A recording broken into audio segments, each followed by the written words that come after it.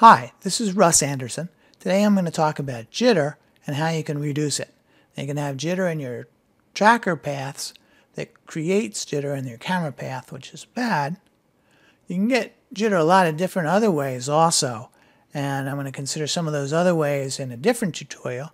In this tutorial, I'm going to be focusing just on the tracker paths themselves and how you can improve them. Now, one way to improve tracker paths and camera paths is by filtering, and SynthEyes will let you do that, but that's not really a good idea. It's a, a band-aid. Instead, we'd like to go and actually improve the tracker data itself. So let's go take a look at uh, one of our trackers here. And if you scrub through this thing a bit, I'm just going to hit the 5 key to keep it centered here. Um, you'll see that there's a pretty rough camera path on this. And especially in this beginning part of the shot.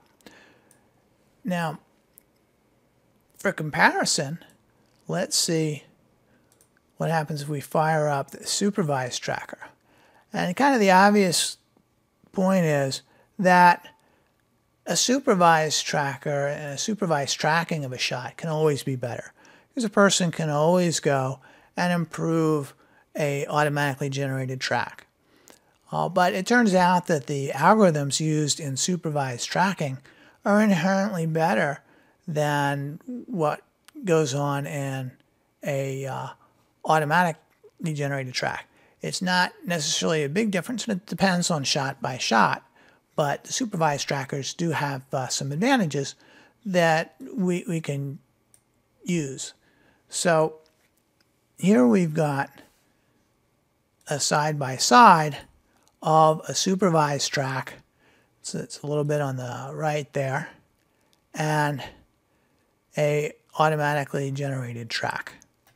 And you know, I picked this one out to be uh, illustrative. And let's just switch back and forth there. Now I, I selected the automatically generated track. So now let's go look at the tracker graphs. That's the automatically generated track. If I hit undo, that's back now to the supervised track.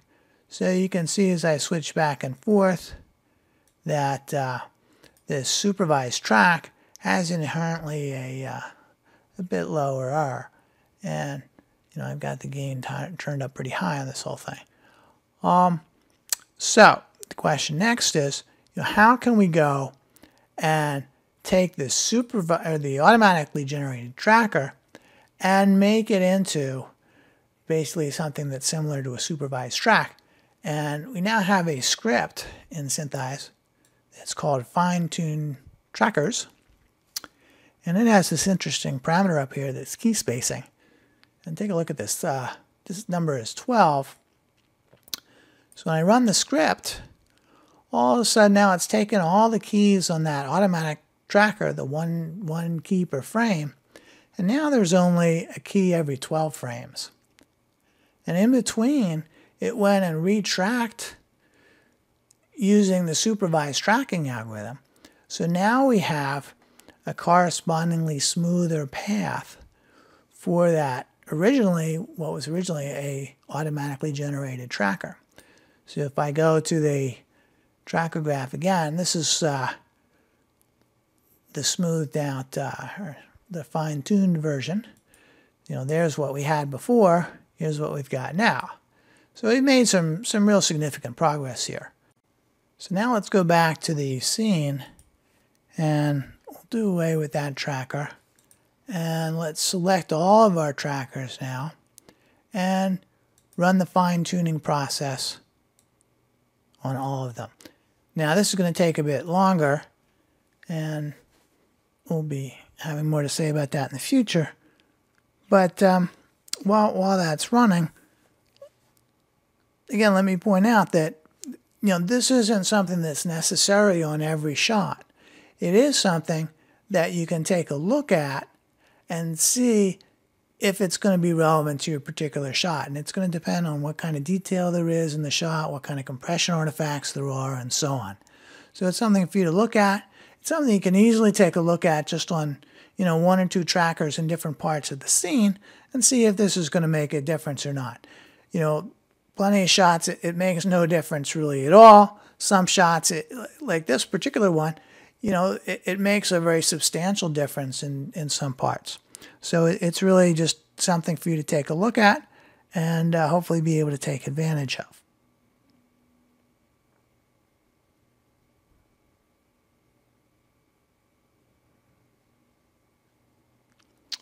Okay, so we're back now. And what we need to do now, how about, I had previously gone and done an automatic track on this scene. So let's run that track again. And we're going to do the same thing that we did with the individual tracker, being able to compare the two.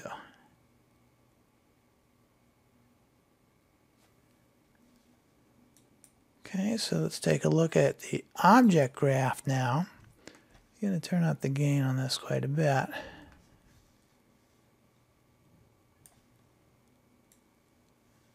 Our position and rotation gains, basically. So uh, this is the solve that's been adjusted. If we undo that last solve, you can see what the solve was like previously.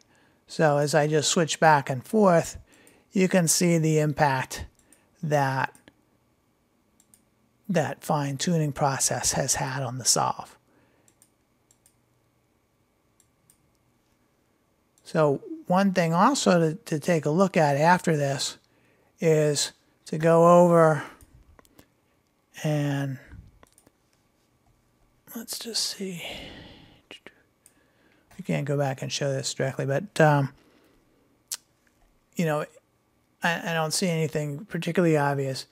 Um, but with this technique, you can get in individual spiky sorts of errors in some spots if the search region of the supervised tracking pass has gotten to be uh, big enough, you'll see it hop sometimes to some other spots.